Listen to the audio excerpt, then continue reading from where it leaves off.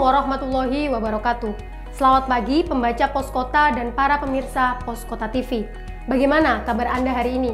Semoga selalu dalam keadaan sehat dan tentunya tetap semangat ya meski di tengah pandemi corona.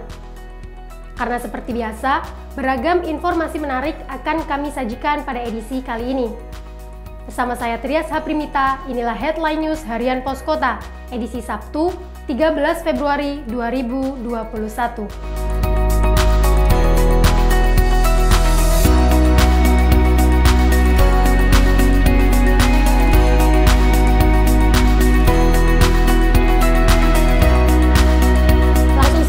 Kita masuk ke berita yang pertama.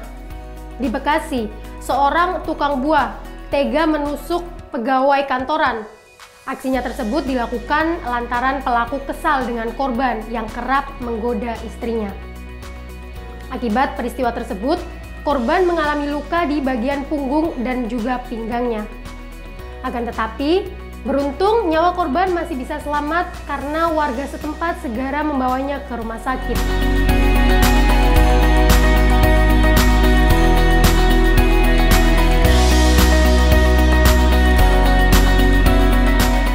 Berita selanjutnya, perayaan Imlek 2021 di Jabodetabek relatif sepi.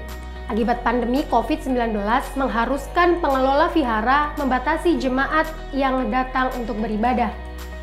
Namun kendati demikian, hal tersebut tidak mengurangi khidmatnya sembahyang warga yang merayakan Tahun Baru Cina tersebut.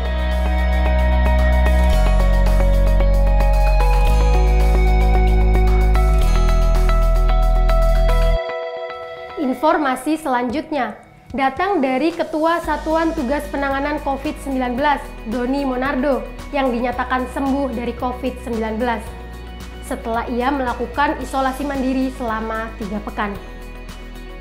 Sebelumnya, Doni yang juga menjabat sebagai Kepala Badan Nasional Penanggulangan Bencana dinyatakan positif COVID-19 lantaran padatnya aktivitas yang ia lakukan dalam penanganan bencana beberapa waktu lalu.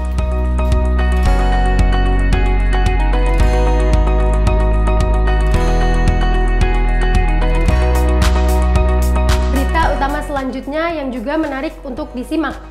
Menjelang hari Valentine pada 14 Februari mendatang, harga bunga mawar di pasaran meningkat tiga kali lipat.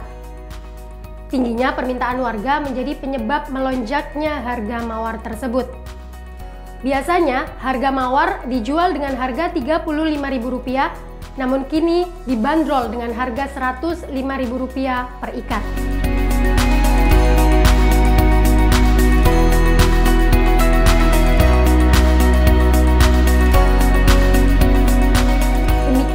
Beberapa berita yang kami sajikan untuk Anda. Tentunya masih banyak berita menarik yang sayang untuk Anda lewatkan. Bagi Anda yang ingin memperoleh informasi lainnya bisa langsung kunjungi website kami di www.poskota.co.id. Sekian perjumpaan kita dalam Headline News Harian Poskota edisi Sabtu 13 Februari 2021. Saya Tria Saprimita mewakili seluruh redaksi yang bertugas mengucapkan terima kasih. Selamat pagi, selamat menikmati akhir pekan Anda. Tapi ingat, tetap patuhi protokol kesehatan. Wassalamualaikum warahmatullahi wabarakatuh.